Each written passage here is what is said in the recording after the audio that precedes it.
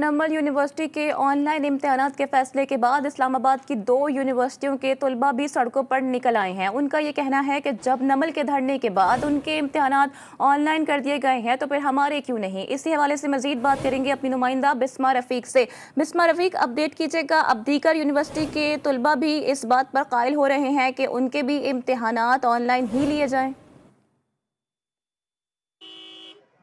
जी बिल्कुल, जैसे कि वफाकी दारकूमत इस्लामाबाद में जो नमल यूनिवर्सिटी के तलबा हैं, उन्होंने जो है वो प्रोटेस्ट किया था इस हवाले से कि हमारे जो इम्तहान हैं वो ऑनलाइन लिए जाएँ। इसी हवाले से एच ई सी पे जो दरख्वास्त भी दायर की गई थी, जिस हवाले से उनका ये कहना था कि इंतज़ामिया, जो यूनिवर्सिटीज़ की इंतज़ामिया हैं, उस पर डिपेंड करता है कि वो आगे से क्या जो है वो एक्शन लें या क्या नोटिफिकेशन जारी करेंगे। इसी हवाले से जो निजी यूनिवर्सिटीज़ के तलबा हैं, वो भी उस धरने में शरीक थे, मगर उनका यही कहना है कि सिर्फ़ नमल यूनिवर्सिटीज़ का जो है वो ऑनलाइन इम्तहान का फैसला किया गया है तो हमारी अभी तक क्यों नहीं ऑनलाइन जो इम्तहान का है, फैसला किया गया। मेरे साथ एक तालब इन मौजूद है, इनसे बात करते हैं।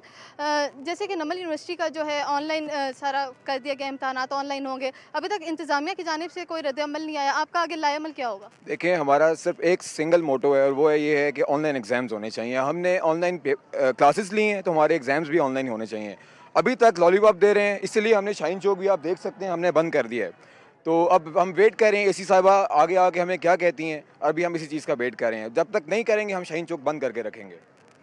जी बिल्कुल आपने सुना और मैं आप मेरे अकम में देख सकते हैं कि जो तो, तालब इम है जो तलबा है यहाँ पर उन्होंने शाहीन चौक को मुकम्मल तौर पर बंद कर दिया है और अभी जो है वो ए सी भी ए सी साहिबा भी जो है वो यहाँ पर यूनिवर्सिटी में तशरीफ़ लाई थी और उनका यही कहना है कि मैं यूनिवर्सिटी के जो। इंतज़ामिया हैं उनसे बात करती हूँ कि ये जो जो बच्चे हैं इनके जो ऑनलाइन इम्तहान का जो फैसला है वो कर दिया जाए क्योंकि बच्चे जो हैं अभी भी इस प्रोटेस्ट की वजह से अपने इम्तहान पर जो है वो तोज्जो नहीं दे पा रहे। जी। मिस रफ़ीक